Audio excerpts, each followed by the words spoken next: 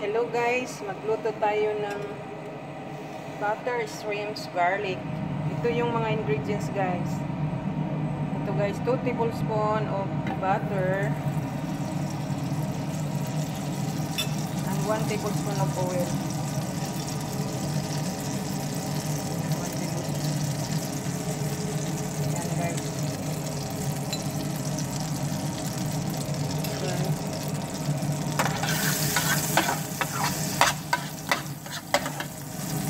Ayan, guys. May shrimps tayo guys. Tapos yung tamarind sauce. Wala man akong oyster sauce. So tamarind na yung ginagamit ko. Tapos yung half, half tablespoon soy sauce at saka 1 tablespoon tamarind sauce. And garlic. 6 clove garlics guys. Kasi good for 2 person lang ito guys. Tapos yun ang gingerbread guys. Half tablespoon. Ayan guys. So, prito muna natin yung bawang. Ayan guys.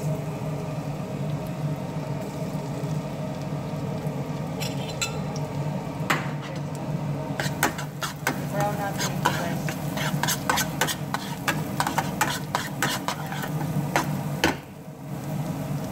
Halo na natin yung gingerbread.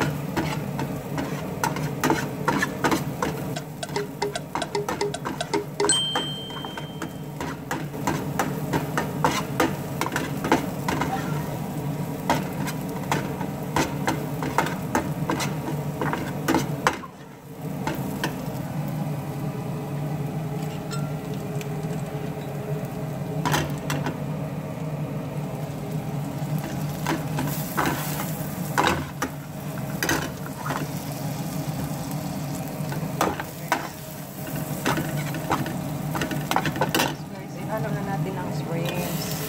Tapos ihalo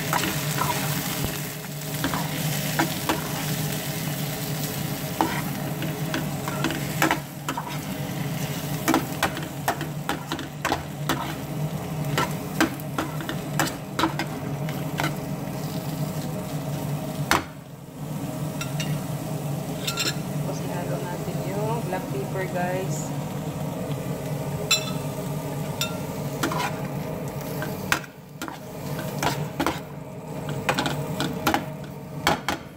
Ayan, guys.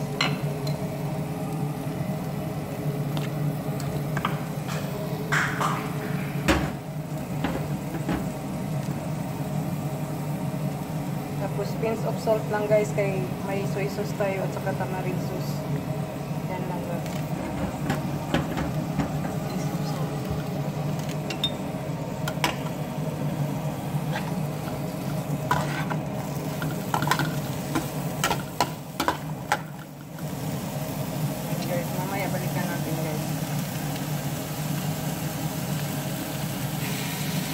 Guys, ito na guys. So, ihalo natin yung soy sauce guys. Ayan. Ito guys.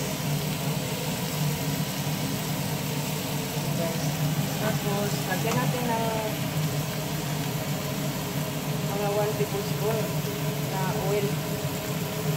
Parang mag-ano siya guys.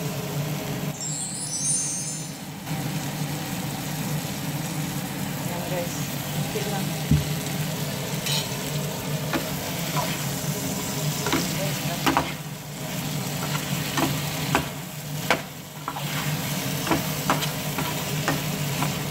Ito.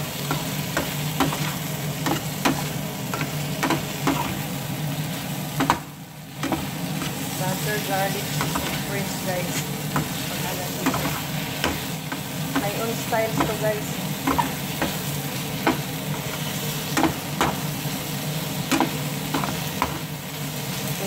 Nasa isip ko lang yan. Tinitikman ko ito, niluluto ko ito lagi kasi sarap. Ayan guys. Guys?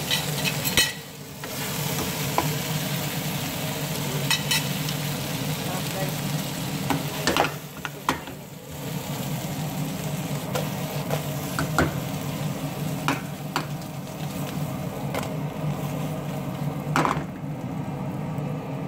Guys, ito na siya.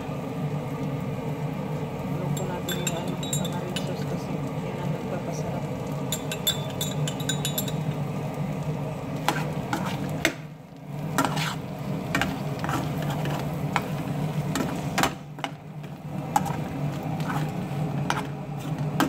Ayan, guys, oh.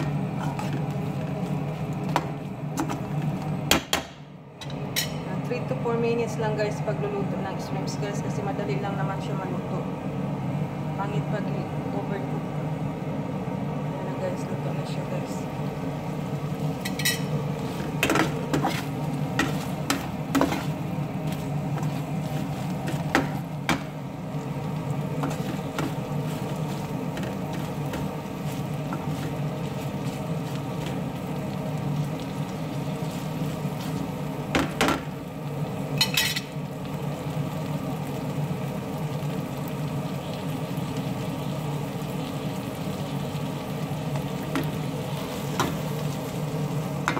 Ready to serve.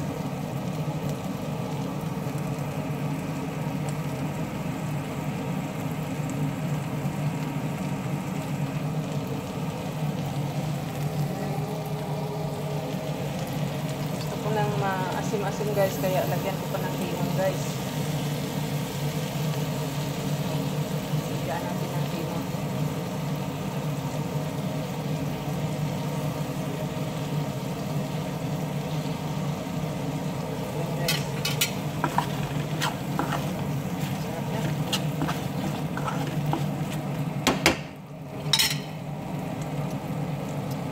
Ayan guys. Kain naman. Ready to serve. So, magkain muna tayo guys. Hi guys. Ito na guys. Oh, yung niluto ko na butter garlic shrimps guys. Yan guys. Sarap guys. Tikman nga natin guys. Wow, sarap. Kakamayin na lang. Yan guys, oh. Sarap. Mmm. Yummy guys. Maparami na naman yung subo ko guys. Kakamayin kasi mas masarap kumain pag magkamay. Mm. Yummy guys. Ayan guys oh.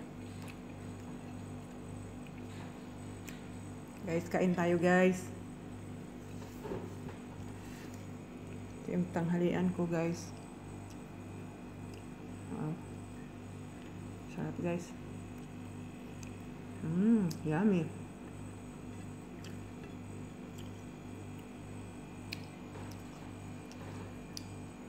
Please like and subscribe guys to my news channel.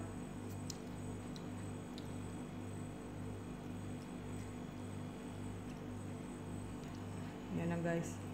Bye guys. Thank you for watching guys.